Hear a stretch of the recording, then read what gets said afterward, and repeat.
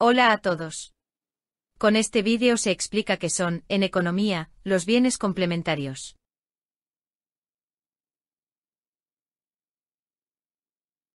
Los bienes complementarios son productos que se consumen juntos o que se utilizan en conjunto para satisfacer una necesidad específica. Esto significa que la demanda de un bien complementario está estrechamente relacionada con la demanda del otro bien. En otras palabras, cuando aumenta la demanda de un bien complementario, también tiende a aumentar la demanda del otro bien, y viceversa.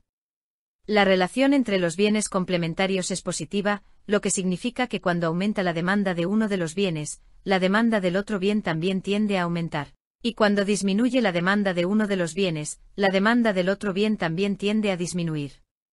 Así si el precio del un bien aumenta, las cantidades demandas de su complementarios disminuye. Si el precio del complementarios baja, las cantidades demandadas del otro suben. Es importante tener en cuenta que la relación entre los bienes complementarios puede ser fuerte o débil dependiendo de varios factores, como las preferencias del consumidor, la disponibilidad de alternativas y los cambios en los precios relativos. Sin embargo, en general, los bienes complementarios tienden a ser consumidos o utilizados en conjunto, lo que los hace interdependientes en términos de demanda. Por ejemplo, la leche y las galletas son un clásico ejemplo de bienes complementarios. Cuando una persona compra galletas, es probable que también compre leche para acompañarlas.